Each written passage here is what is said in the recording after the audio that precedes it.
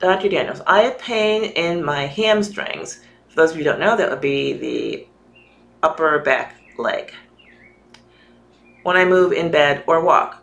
When I tighten my neck, the pain goes away, so neck exercises help. I'm on magnesium capsules, which do help, and also have a high vitamin D level. So if you have a high vitamin D levels, don't take any vitamin D. I also take K2, skip that, and pig's feet and pork hocks weekly. Uh, I would skip the pig's feet and pork hocks.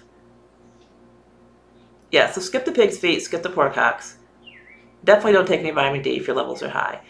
And I would use foam rollers to roll out the uh, muscle. So the reason you have that pain is there are uh, toxins accumulating in your muscle.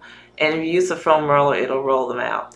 Increase your water intake. Make sure you're pooping three times a day. If you need help with that, Vitality Capsules at vitalitycapsules.com will certainly help. They are the internal cleanser that is comfortable enough for everyday use.